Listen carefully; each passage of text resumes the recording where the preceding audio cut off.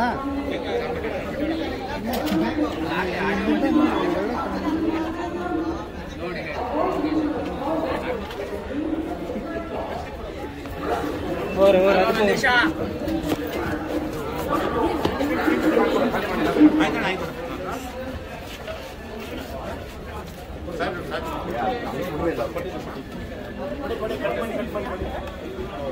ಏ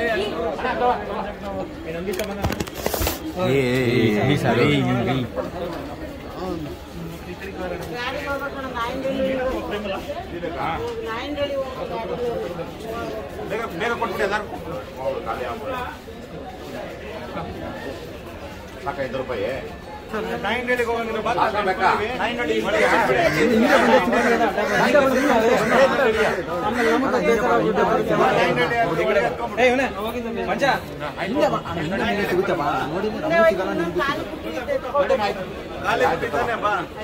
ಆಯ್ತು ಒಳ್ಳೇದಾಗ್ಲಿ ಇನ್ನೊಂದು ಎರಡು ಕೊಟ್ಬಿಟ್ಟು ಹೋಗು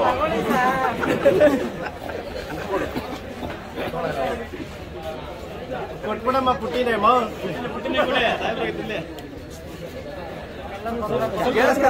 ಹಿಂದೆ ಬನ್ನಿ ಅಣ್ಣ ಬೇರೆದಾಗಿದ್ರೆ ಪುಟ್ಟಿನೇ ಕೊಟ್ಬಿಡೋದು ಕೇಳಿಸ್ಕೊತಿರ್ಲಿಲ್ಲ.